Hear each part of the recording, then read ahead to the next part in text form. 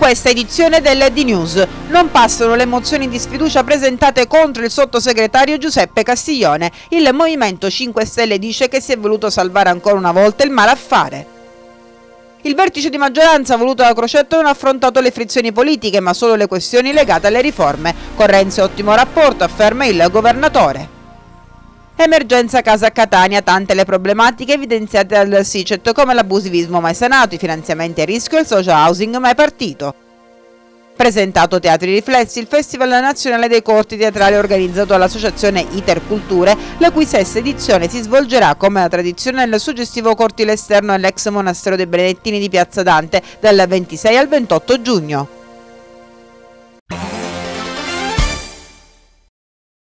1896. Mentre ad Atene è il primo anno delle Olimpiadi dell'era moderna e Spiridon Lewis vince la maratona, a Catania apre il primo punto vendita che diventerà un riferimento assoluto per lo sport italiano.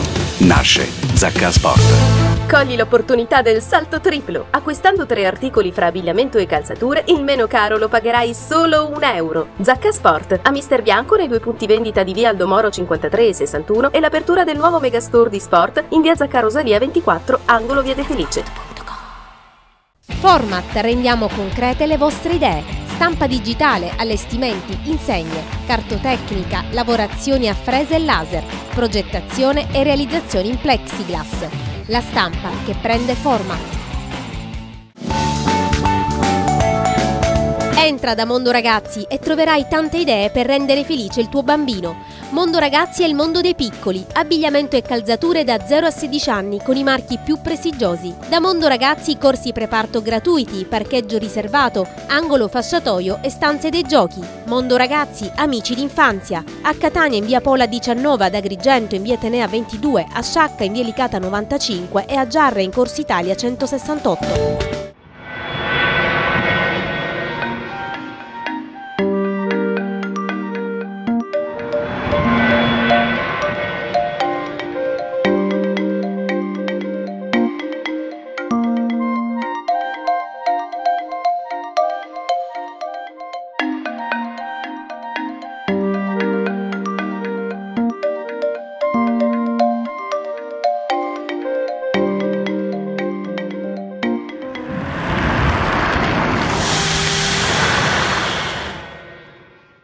Le cooperative sono società che fondano la loro unicità sul principio mutualistico, il quale permette di usufruire di importanti sgravi fiscali e agevolazioni finanziarie.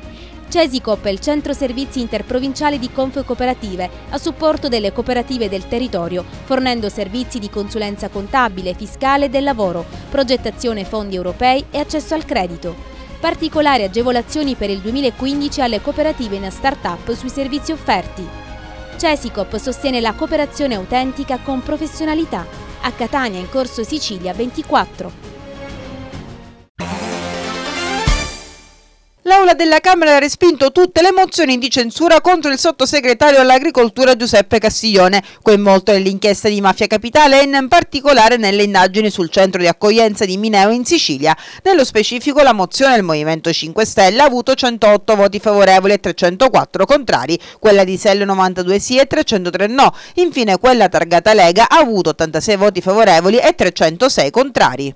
I garanti del malaffare, Castiglione Dimetti scrive in un tweet il leader del Movimento 5 Stelle Beppe Grillo commentando il voto dell'Aula. Il PD si legge nel blog vota contro la mozione Movimento 5 Stelle e salva l'indagato Castiglione, nuovo centrodestra e sottosegretario all'agricoltura coinvolto nelle inchieste di mafia capitale. Nel 2011 il Cara di Mineo era una sorta di mega residence per le famiglie dei soldati americani, scrivono i parlamentari 5 Stelle. Poi l'allora ministro degli interni Roberto Maroni, lo stesso che in questi giorni minaccia i sindaci lombardi di non accogliere i migranti, decide decide di trasformarlo nel più grande centro di accoglienza d'Europa. Oggi si rimangia tutto, ma la realtà è che fu proprio il leghista Maroni a trasformare Mineo in un centro migranti SPA, favorendo incontri come quello tra Luca Odevane e l'attuale sottosegretario all'agricoltura Giuseppe Castiglione, il braccio destro di Alfano in Sicilia. Il primo è stato arrestato nell'inchiesta Mafia Capitale, il secondo indagato. Fin dal suo ingresso in Parlamento, rivendicano i grillini, il Movimento 5 Stelle ha sempre denunciato le reti affaristiche e clienterali che si annodavano intorno al business dei centri di accoglienza dei migranti. Solo sul Cara di Mineo dall'inizio della legislatura abbiamo presentato, dicono, 29 atti parlamentari, tra interrogazioni, interpellanze e ordini del giorno di fronte ai quali il governo non ha mai risposto adeguatamente. Dopo i continui botte e risposta, prima del vertice di maggioranza convocato dal Presidente Crocetta, che annunciavano una maggioranza appunto in crisi con il governatore, ieri dopo la riunione tutto è sembrato filare liscio. Insomma, un vertice che è sembrato più una semplice riunione piuttosto che un assestamento dei quadri dirigenti. Accantonati infatti i temi politici si è parlato per poco più di un'ora e solo dell'ordine del giorno crocettiano, ovvero le riforme da fare e quelle ancora non fatte. L'incontro si è svolto sulla base del documento che il Presidente aveva diffuso a tutte le forze politiche insieme alla convocazione e ha individuato tre obiettivi fondamentali da perseguire da qui alla fine della legislatura, il rilancio della coesione sociale, le politiche di sviluppo, la coesione politica governo, partiti, Parlamento, quest'ultima intesa come sostegno al Presidente. Per Crocetta serve una riforma vera sui liberi consorzi dei comuni, lo sblocca Sicilia per il rilancio e lo sviluppo attraverso la sburocratizzazione e il principio di responsabilità dei burocrati, il testo unico sulle attività produttive per facilitare l'inserimento in nuove aziende, la riforma dell'acqua coerentemente con il referendum sull'acqua pubblica, misure di legge sulla formazione professionale, misure di sostegno e reddito per i disoccupati. Come scrive Crocetto in una nota, le leggi sono già tutte incardinate e contengono anche provvedimenti essenziali. All'interno di Sblocca Sicilia, ad esempio, è presente una norma che consente di evitare il dissesto delle province e il licenziamento dei lavoratori. Accanto a questo alcune norme relative a modifiche sulla legge finanziaria come la gestione dell'emergenza rifiuti che tra l'altro sarà oggetto di un incontro con il ministro Galletti. Dunque il Presidente ha ribadito che la politica dei tagli non può essere più praticata nelle dimensioni in cui è stata praticata dal 2013 al 2015 senza compromettere e aggredire lo Stato sociale e che ha posto drammaticamente il problema della questione sociale che parte dalla difesa dei disoccupati e dei precari. Per questo, aggiunge Crocetta, ci siamo messi alle spalle il vecchio sistema di sprechi e corruzione, anni di stasi totale, burocratica ed economica, rilanciando un nuovo modello che, partendo dai fondi europei e da un nuovo modello di amministrare, sta salvando la Sicilia. Il peso del passato a proporzioni enormi e le misure hanno effetto nel tempo.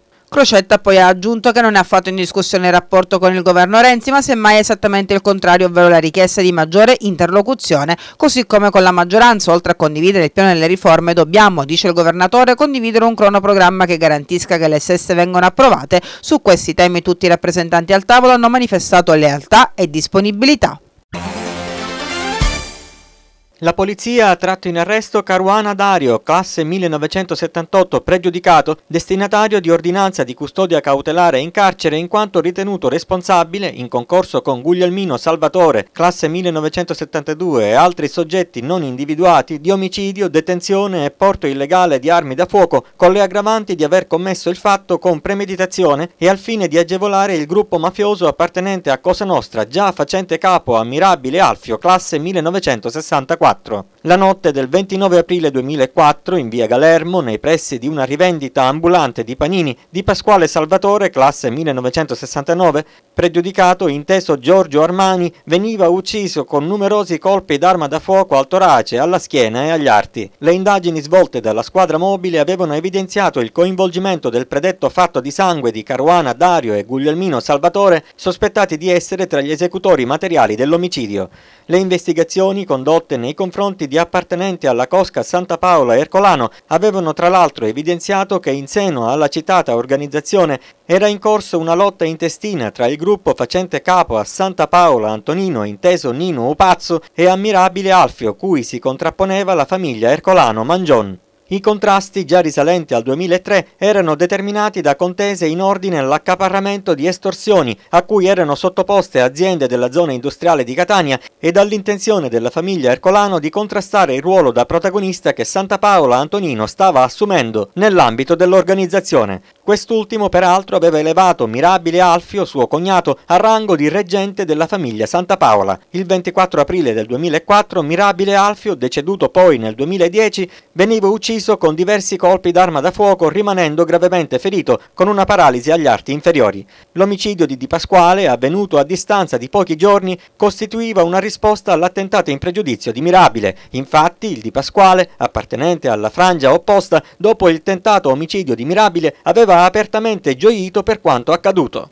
Le risultanze investigative raccolte all'epoca nel corso di attività che sfociò nell'esecuzione in data 20 luglio 2004 di provvedimenti di fermo, operazione Risico, emessi proprio per infrenare la temuta escalation di omicidi dalla Procura distrettuale della Repubblica di Catania per il reato di associazione mafiosa nei confronti di appartenenti alla Cosca Santa Paola Ercolano, tra i quali i predetti Guglielmino, Caruana, Mirabile Francesco, Mirabile Paolo, si sono arricchite con le dichiarazioni di alcuni collaboratori collaboratori di giustizia, consentendo di raccogliere gravi indizi di colpevolezza nei confronti del Caruana in ordine all'omicidio di Di Pasquale. L'uomo è stato associato presso la casa circondariale di Catania Bicocca.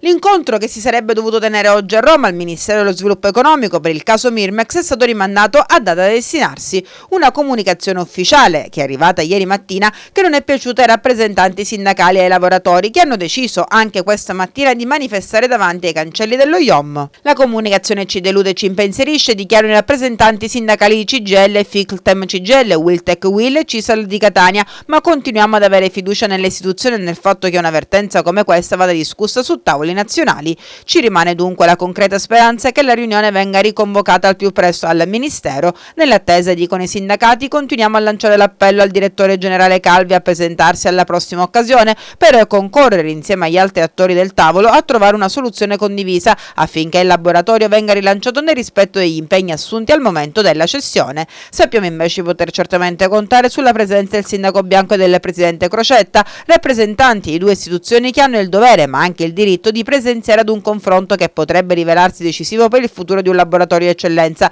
e dunque del territorio. Nei giorni scorsi Mirmex aveva comunicato ufficialmente la non adesione al tavolo romano e aveva puntato il dito contro i sindacati che, impedendo l'ingresso ai lavoratori richiamati al lavoro per un solo mese, sarebbero i responsabili del mancato dialogo, accusa che il sindacato ha pubblicamente respinto. Sono tanti i problemi che riguardano la questione casa a Catania, si può parlare dell'abusivismo mesenato, dei finanziamenti a rischio ma anche del social housing che non è mai partito da qui, il punto della situazione voluto dal SICET che dice cosa deve essere fatto e cosa deve fare soprattutto il Comune e gli enti preposti a tal proposito. Noi abbiamo detto all'amministrazione che tutto ciò che è pronto deve essere dato. L'amministrazione continua a ripetere c'è poco, incominciamo ad avere come abbiamo di più, incominciamo a dare. Non è questo il problema, il problema è di recuperare tutto quello che c'è e ce n'è tanto. Ci sono alloggi a Cibali, ci sono alloggi in via Bernini dove c'è stato l'incendio e per cui non si sono mai venduti e si potrebbero recuperare per fare social housing. Vi sono altri alloggi in tanti posti della città, Santa Maddalena e quant'altro. Noi vogliamo che questi alloggi finiscano di fare le gare per vendere perché non vendono, che ha una vita che prova il Comune di Catania a vendere e voi sapete meglio di me che non ci sono mai riusciti e continueranno. Ora pare che abbiano girato l'ostacolo dicendo bene, se eh, non è per questo li diamo per il social housing o li trasformiamo per civile abitazione. Noi vogliamo che questo discorso lo mettano non solo sulla carta ma operativo. C'è e si possono incominciare a dare qualche alloggio che è pronto, diamo tutto quello che è pronto e ce n'è. Se loro continuano a dire dobbiamo recuperare per poi verificare quello che dobbiamo fare, bene, noi siamo pronti a scendere in piazza e non fra sei mesi, ma subito per far capire alla gente che ci sono i presupposti per poterli avere questi alloggi, anche se ce n'è uno solo da poter dare, togliamo una famiglia in mezzo alla strada. Quello dell'emergenza casa è uno dei tanti problemi che deve affrontare questa città, i numeri non sono a favore delle famiglie meno fortunate, come può intervenire l'amministrazione? Catania vive una fase drammatica di carenza di posti di lavoro, di mancati progetti che possono farci intravedere una speranza per un futuro in crescita. E, la questione casa è una questione che esprime tutta l'evidenza del dramma sociale che vivono molte famiglie catanesi però è pure vero che risorse disponibili ce ne sono. E allora eh, ieri si parlava della presentazione del piano Casa Sicilia da parte dell'assessore regionale delle infrastrutture, sarebbe eh, opportuno che l'amministrazione catanese convocasse un incontro immediatamente che vede insieme le parti sociali nel territorio catanese così come l'assessore regionale per capire quali di questi finanziamenti possono essere utili a ehm, mettere in sicurezza, comunque a riqualificare i beni che sono nel territorio e possono essere ristrutturati e messi a disposizione di tante famiglie che aspettano.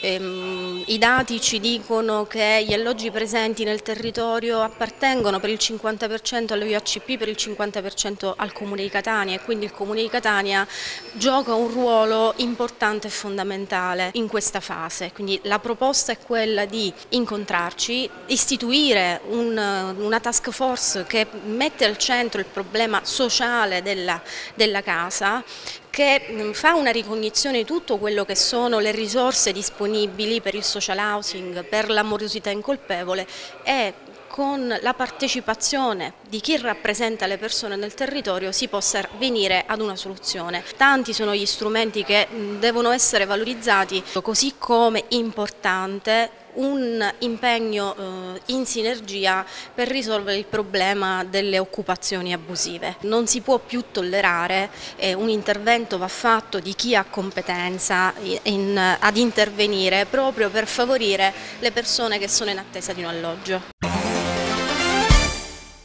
L'incendio che si è sviluppato ieri in via Quicella Porto apre una profonda riflessione su quella che è la situazione di molti terreni nella nostra città, terreni per lo più incolti, con erbacce, alberi secchi, che rappresentano un vero e proprio pericolo per tutta la cittadinanza. Infatti con l'arrivo della stagione estiva è molto facile che questi terreni possano innescare degli incendi, sia per la noncuranza da parte dei cittadini, ma anche per fenomeni naturali. Ed è per questo che abbiamo chiesto all'assessore all'ecologia del comune di Catania, Saro D'Agata, come l'amministrazione pensa di intervenire e quali suggerimenti devono essere dati alla cittadinanza. La nostra amministrazione ha sempre sollecitato i privati a ehm, predisporre le idonee recinzioni nei terreni per evitare che in questi terreni possano essere scaricati materiale come dire ti risulta facilmente infiammabile.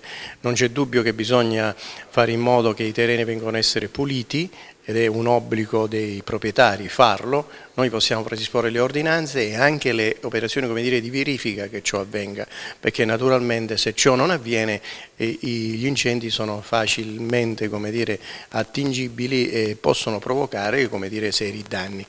E nello stesso tempo io credo che bisogna anche eh, fare in modo che i privati non eh, fa facciano di tutto per evitare che altri possano eh, dire, depositare nei loro terreni, nei loro eh, immobili magari fatiscenti, materiale risultato materiale facilmente infiammabile come sembrerebbe ci eh, sia stato nell'incendio mm, che è successo ieri che vi erano dei pneumatici.